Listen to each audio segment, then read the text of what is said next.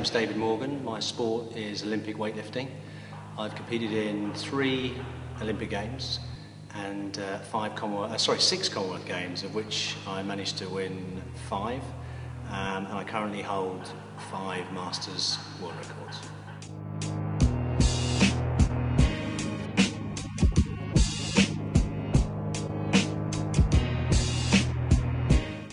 As you just quoted there, you're, you're quite decorated in terms of your medals and achievements. What do you think it was that made you so successful?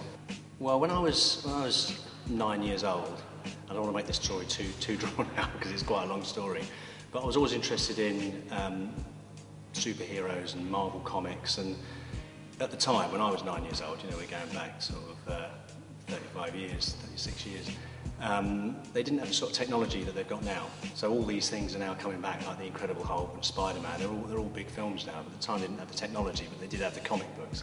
So I used to get the comic book, and um, I was just fascinated, with, you know, with, with strength and you know people that have got superhuman abilities.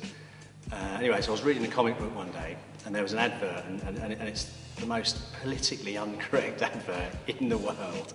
Um, it was the Charles Atlas advert, and, and you're probably too young to remember it, but it was the advert of the skinny guy on the beach getting sand kicked in his face, goes off, does the Charles Atlas bodybuilding course, comes back, beats up the bully, completely implicitly incorrect, goes off with a girl, you know, and I thought, yeah, I'd quite like to get some muscles and beat up the bully and go off with a girl. So I ordered the course, and um, it came through. It, it, it, wasn't it wasn't weights or anything. It was just like press ups and um, standing in front of a mirror, you know, breathing deeply, and know, it was this kind of stuff. But but that's what kind of initially got me in, interested.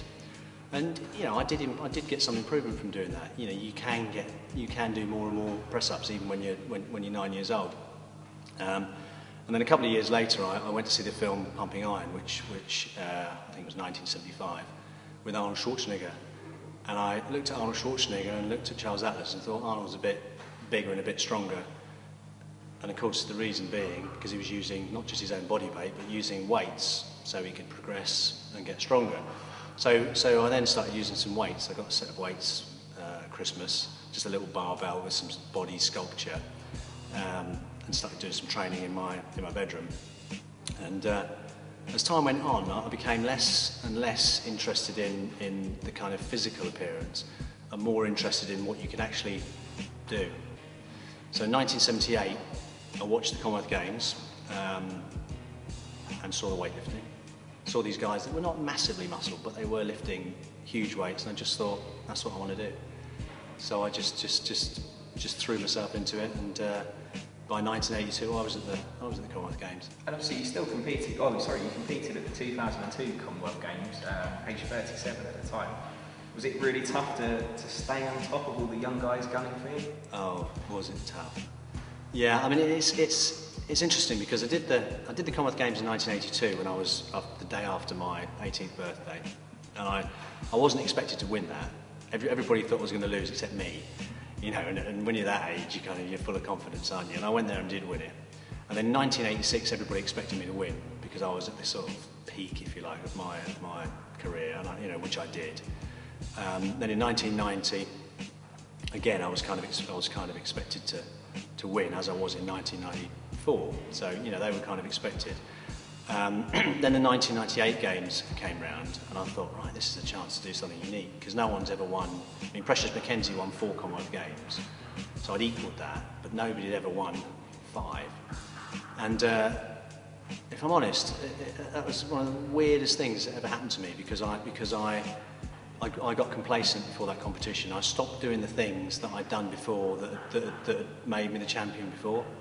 You know, silly things like. Um, you know, certain little injuries I didn't, didn't, didn't attend to properly and, you know, certain things I just thought, oh, it'll be all right on the day. And it taught me a really big lesson because, because it wasn't all right on the day.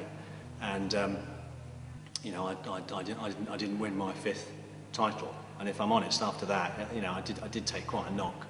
And uh, for about a year after that, I didn't even, I didn't even go in the gym. I wasn't interested in weightlifting. I just thought that was my one chance in 98, you know, I'm going to be too old by 2002. Um, so I didn't even go to the gym for a year. Um, and then a friend of mine phoned me up one day and he said, uh, let's go to let's go to Glasgow on a, on a sort of sort of you know drunken weekend. And I thought, yeah, that sounds like a good idea. So we so you start booked the flights and everything, and we're, and we're staying with with with a, with a guy called John McEwen, some lunatic Scottish weightlifter that we used to know. So we went down, and um, and it was all a bit of a con really because. What he'd actually what he'd actually done is he'd taken me there because the World Masters weightlifting championship was there. So um, so he said, oh, we'll just nip in and have a look at the World Masters. And I was like, why? He goes, oh, we'll just nip in. So we nipped in, coincidentally, on the day that my weight class was lifting. And we sat and watched it, and he went, and he, and he was just sort of sitting there. He goes, what do you think? And I was going, yeah, yeah, it's all right. And he goes, I think you could, you could beat him, couldn't you? And I was like, I'm not interested. So anyway, we left, went out for a pint, a couple, a couple more pints.